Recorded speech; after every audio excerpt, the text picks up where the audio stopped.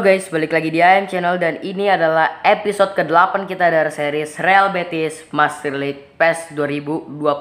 Oke, jadi untuk di episode kali ini kita akan mainkan satu pertandingan juga seperti yang udah gue bilang di episode sebelumnya. Oke, jadi di episode kali ini kita akan memainkan leg kedua atau leg penentu dari round 2 Copa del Rey menghadapi Real Zaragoza. Kita akan menjamu mereka di Stadio Benito Villamarin. Jadi ya buat kalian sudah menonton episode sebelumnya sudah tahu bahwa kita uh, unggul agregat 3-0 gitu loh. Jadi kita punya 3 gol tanda gitu kan. Jadi ya uh, thank you banget buat kalian sekali lagi sudah kasih gue saran di episode sebelumnya. Oke. Okay? Jadi kita langsung saja to the next match uh, ngatur gameplay dulu seperti biasa. Kita ngecek-cek dan untuk di pertandingan ini sih gue coba turunin beberapa pemain rotasi juga ya. Karena lihat pemain inti kita stamina-nya tidak begitu mendukung gitu loh. Beberapa ya. Borja Iglesias akan jadi starter di pertandingan ini. Dan kita masih berpikir sih ini otak mesti otak mesti mutar sih gila. Karena ya jadwal kita untuk di pertandingan berikutnya lawan Real Madrid, Pak. Walaupun jedanya cukup panjang ya, tapi wal gua berusaha semaksimal mungkin lah untuk di pertandingan kali ini. Oke, okay, Barahan uh, dengan Emerson jadi center back. Vedal akan jadi di tengahnya ya. Jadi lagi bagus moralnya. Panah ke atas warna biru. Jadi bis yang seperti yang udah gue bilang di episode uh, sebelumnya episode ketujuh ini adalah terakhir kali yang kita berdiskusi apakah kita akan jual Vedal atau enggak dengan Barahan juga ya. Jadi silahkan nonton saja episode kali ini pertandingan ini sampai habis. Lihat seperti apa penampilan mereka berdua. Oke, jadi ini terakhir kali nih. Apakah kalian setuju atau enggak? Oke, jadi tunggu saja. Kita atur gameplay dulu sebelum masuk ke kick off. Oke, jadi gua atur dulu. Moreno masuk. Ntar ya. Gue mesti atur-atur di bench juga. Hopefully kita bisa lolos ke ronde berikutnya sih. Oke. Ini Lainez jadi starter juga sih. Kipernya Dani Martin nih kalau gak salah pertama kali Dani Martin jadi starter ya kalau gak salah. Semoga saya eh, bukan pertama kali gue nggak tahu lah. Pokoknya kayak ya kita lihat saja lah. Mungkin udah dua kali ya gue lupa sih. Jadi semoga saja penampilannya akan memuaskan. Oke. Okay. Theo di second striker. Jadi seperti inilah uh, lineup kita di pertandingan ini. Shinji Kagawa main di sisi kiri menarik. Mereka mengubah beberapa posisi pemain ya jadi kita ganti baju mereka dulu mereka pakai baju yang warna merah yang nah ini beda jauh sih. Oke kita langsung saja masuk ke kick off pertandingan penentu. Semoga saja kita bisa menang. Ini dia selamat datang di Estadio Benito Villamarin kandang atau markas kebanggaan kita. Borja Iglesias juga akhirnya kembali jadi starter di pertandingan menghadapi Zaragoza Tentunya bukan pertandingan yang mudah ya, oke? Okay? Kira ada pembacaan line up sepertinya dan ya benar sih. Jadi kita langsung mulai. Ini dia kick off pertama antara Betis dan juga Zaragoza. Sudah dimulai dari leg kedua round Copa del Rey. Come on, famous Betis. Emerson kasih ke Diego Lainez di sisi kanan, cukup bagus. Oke. Okay? Masuk ke menit ke-11 sekarang. Lebar ke Charles Figaray, umpan ke depan, Miguel Linares dapat Alberto, dapat good job William sangat bagus. Barahan chip ke Zovedal bagus kasih ke depan ayolah pastinya dipotong. Fokus lah nice Vedal dapat astaga. Coba kita cek ya.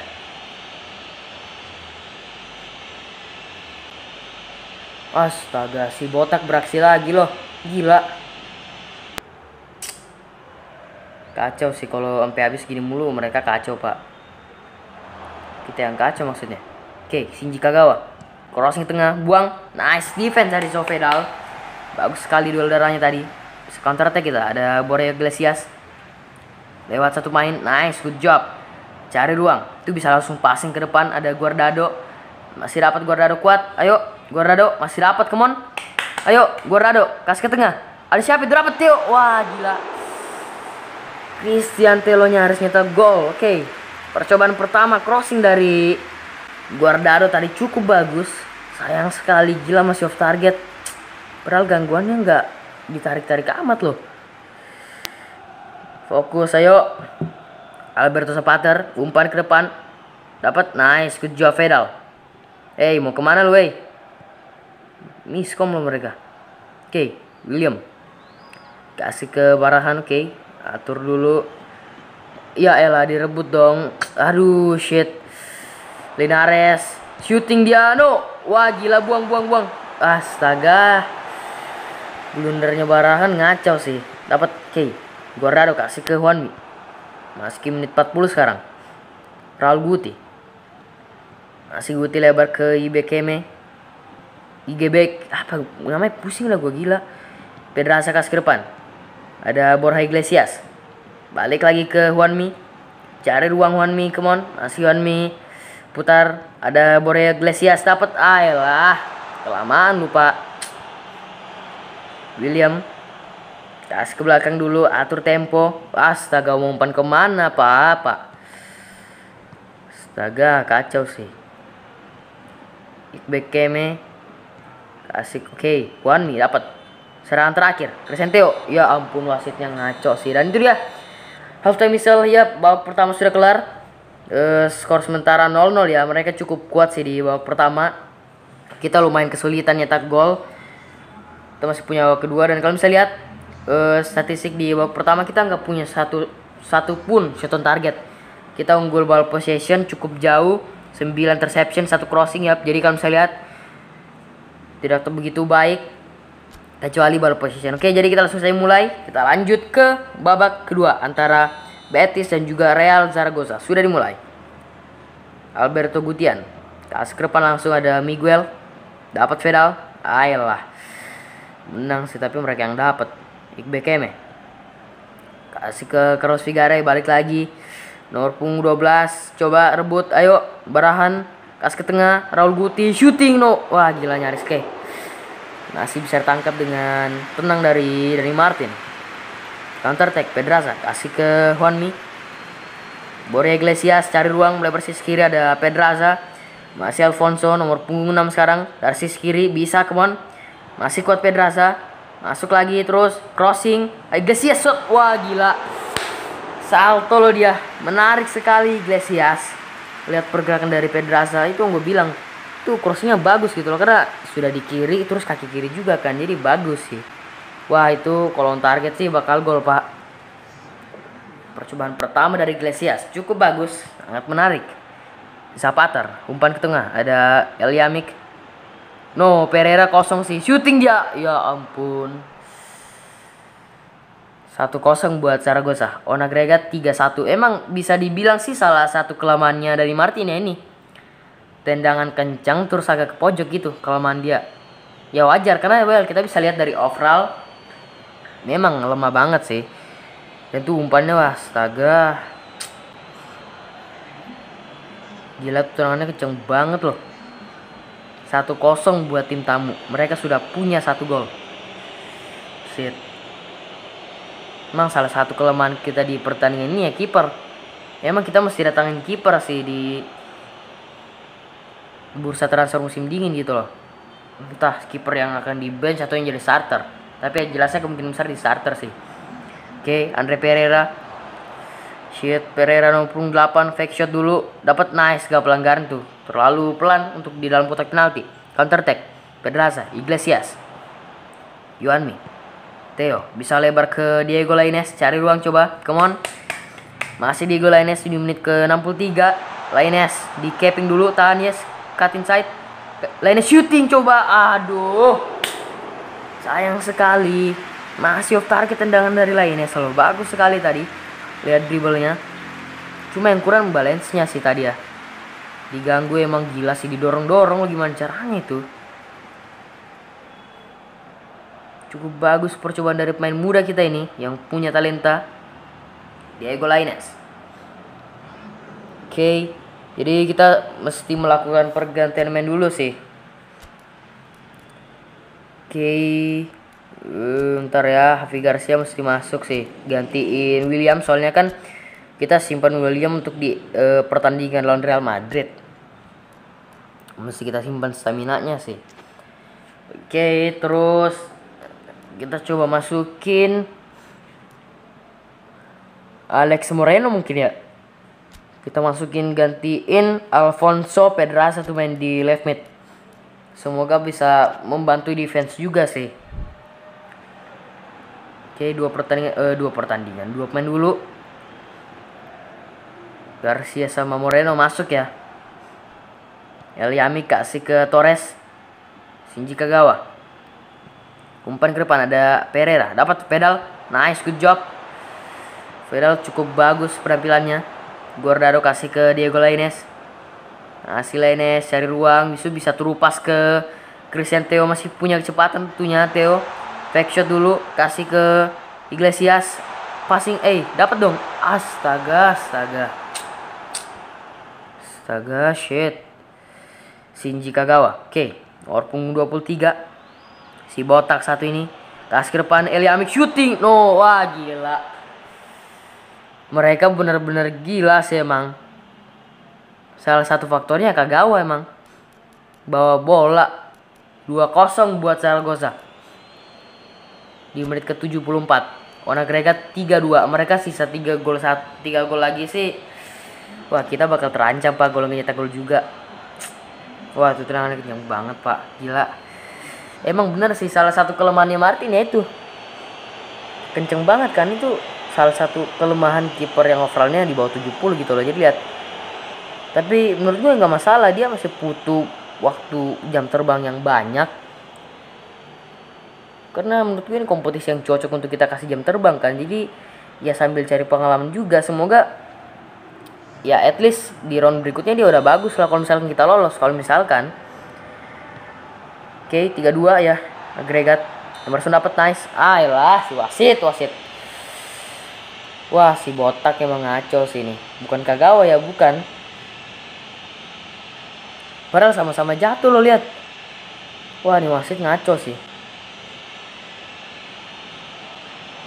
Untung masih dikasih peringatan lo tuh nggak dikasih kartu. Oke lima menit terakhir dibuang ke depan. Good job Hafi Garcia. Bisa counter attack. Kasih. Coba. Ah dipotong. Zapater kasih ke depan langsung. Wah nggak dapat loh Burgui jangan kasih ruang please tackle aduh nggak dapat Alberto shooting wah nyaris gila mereka nyaris nyetak gol ketiga nyaris mencetak gol penyambung kedudukan Gila sih memang benar-benar overpower emang leg kedua. Untung masih off target tuh tipis banget gila sih. Tendangannya kenceng banget siapa ini? Duitian ya oke. Okay. Goalkeeper buat Betis. Barahan. Passing saja ke Emerson bisa melebar.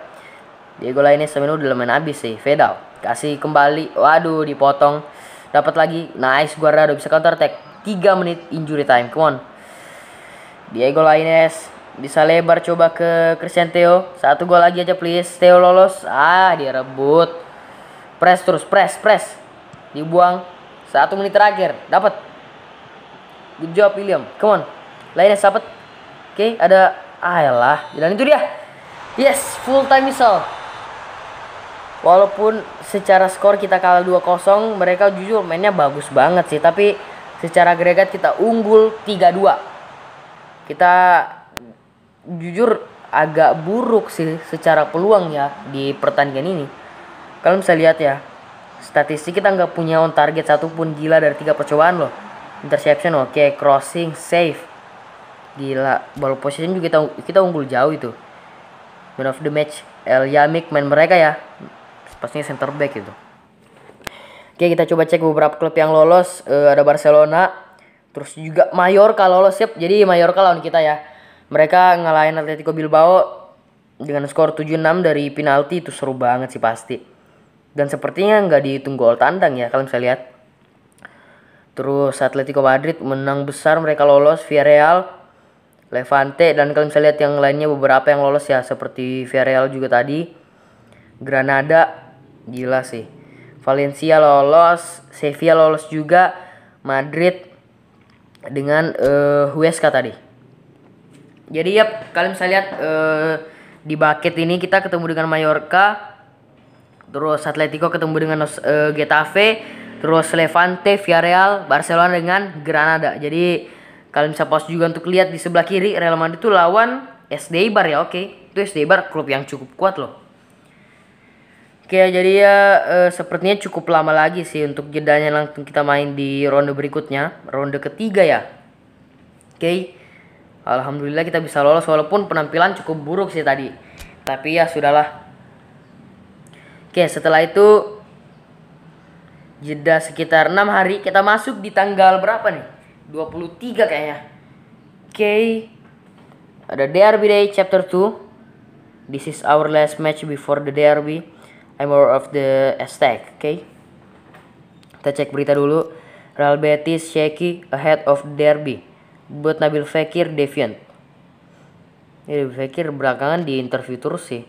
This is game is the most important of all. Oke. okay.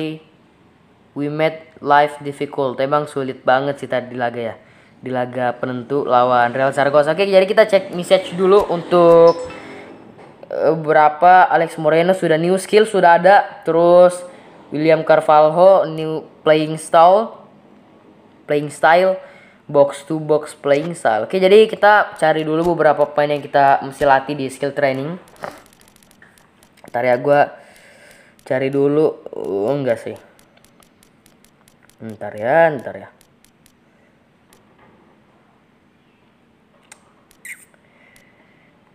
Sepertinya ini sih, uh, yang atasnya ini ada main marking. Kita coba kasih ke Mark Bartra nih. Oke. Okay. Untuk lebih kuat penjagaannya sekitar 30 hari masa latihan. Semoga bisa berguna lah ya.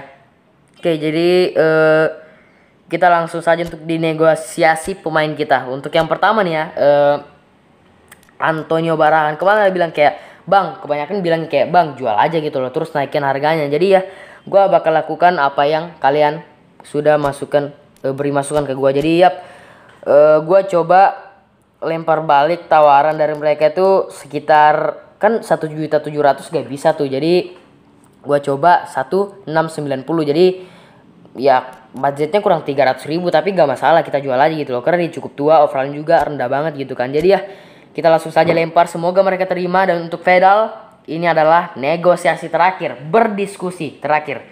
Jadi gue memutuskan nanti untuk di episode berikutnya kita jual atau enggak jadi silahkan saja komen di bawah oke? Okay?